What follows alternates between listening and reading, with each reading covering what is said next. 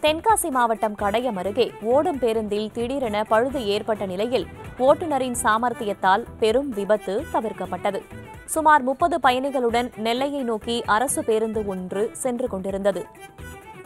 Bus steering இணைப்பு திடீரென துண்டித்ததால் கால்வாயில் பேருந்து பாய்ந்தது. எனினும் ஓட்டுநரின் சாமர்த்தியத்தால் பேருந்து கால்வாய்க்குள் செல்லாமல் பெரும் விபத்து தவிர்க்கப்பட்டது.